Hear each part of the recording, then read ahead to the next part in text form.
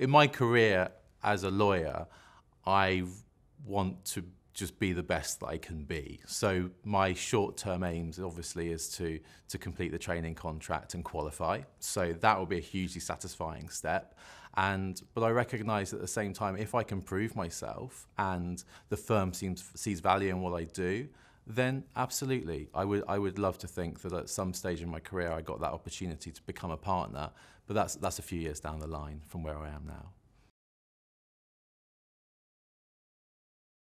37% of our partners actually trained at the firm, and that's higher than any other firms that I've certainly that I'm aware of.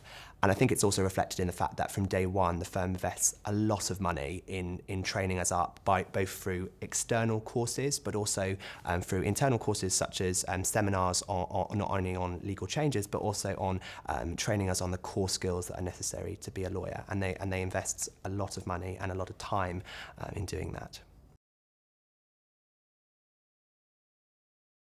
I definitely get the impression that Burges Salmon are recruiting their partners of the future.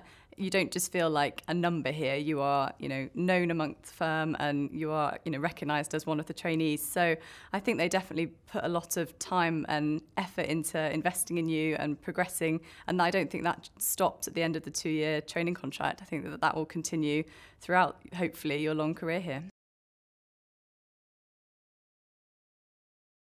I definitely think that the firm has very good retention rates, um, posting sort of 100% figures in a few years past.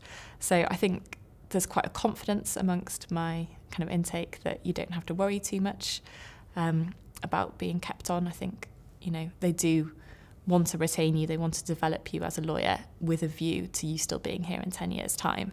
And that's great. You look around you and there are so many partners that were in my position, uh, you know, few years ago they were trainees here and now they've made it right to the top. So I think that's very much part of the culture is we'll invest in you, we'll train in you, and then, you know, you stay here for a long time and contribute to that as well. I'd say it's completely true that you can come here with an aspiration to be a partner. A lot of the partners here um, are people who trained at the firm. I think there are firms who will take on X number of trainees with the view to keeping half of them, two thirds of them, and then culling the rest on qualification.